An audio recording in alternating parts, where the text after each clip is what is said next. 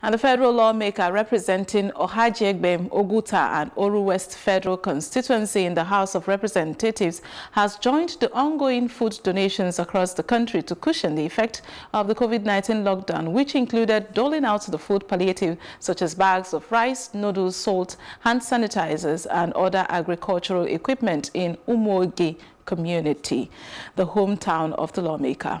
The representative of Kingsley Uju uh, Henry Igbomezie said the palliative was part of the lawmaker's measures to touch the lives of his constituents during this lockdown period, stating that Kingsley Uju is committed to the welfare of his constituency during this coronavirus pandemic.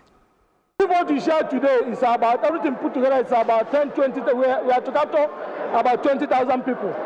The population of the entire three local governments far beyond 300,000 people.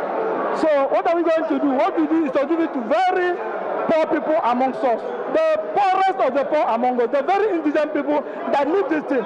If you are a big man, if you can take care of yourself, we are not supposed to give you this thing. This is meant for the poor people. And some of the beneficiaries expressed their joy and gratitude for the food palliative they received, saying that it will go a long way to help them during this pandemic ekele dịrị ya o mere m abụ ogbenye ihe nyere ife isi chineke na ekele na otito na ngozi na na mma I'm highly excited for this thing today. It's for my women.